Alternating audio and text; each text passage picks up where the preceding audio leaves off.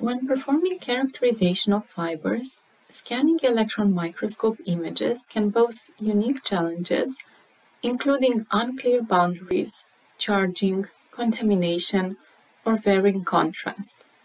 In the past, this analysis would be done manually. An operator would measure the fiber diameter and record the results.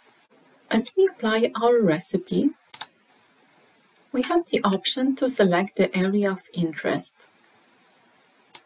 Then MIPAR quickly and accurately detects the fibers. With deep learning, MIPAR has been able to teach a model how to differentiate the fibers and to obtain an accurate detection without the need for time-consuming manual analysis. When sample preparation or imaging conditions change, it is very easy to adjust the fiber edge separation, remove any artifacts, or manually correct the detection. Simply slide the separation across and select Accept. MIPAR will do the rest no need to repeat any other steps. Similarly, you can perform any manual corrections if needed.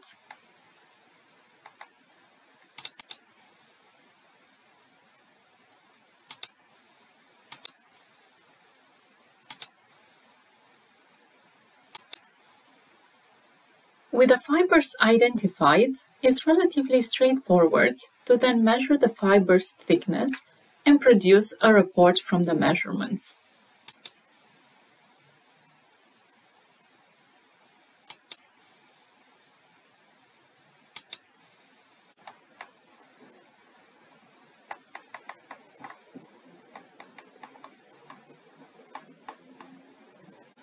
All these capabilities and report generation are also available when processing batches of images.